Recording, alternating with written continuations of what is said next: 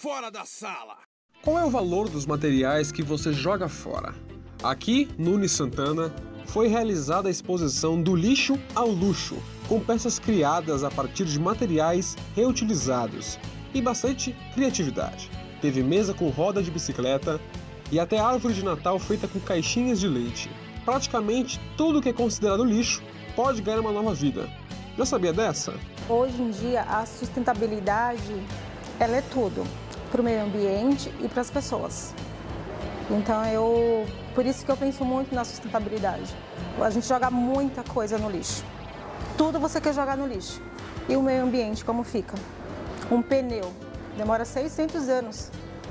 A gente nem existe mais com um pneu na natureza. Vidro, plástico. Então eu penso muito nisso. Então você vai usar a sua criatividade, sua imaginação naquilo que você gosta. Se você gosta de amarelo, você pinta de amarelo, você usa um tecido, você usa um guardanapo e você dá cara nova e vida para essas peças. E você pode dar de presente para um amigo, ele vai ficar super feliz. Uma coisa que você fez com carinho para ele e você tirou do lixo. Isso é uma forma que eu encontrei de demonstrar que tudo pode ser reaproveitado.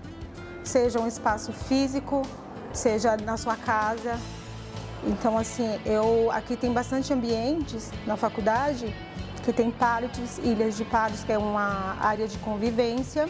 Tem uns bancos que eu dei cara nova.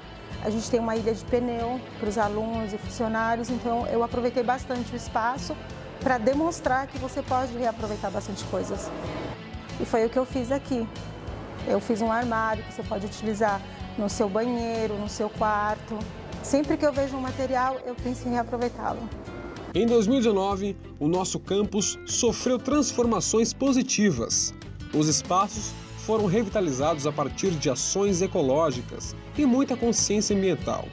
A exposição é uma forma de estimular toda a nossa comunidade a pensar diferente. Isso também é inovação. É a Unisantana mais perto de você.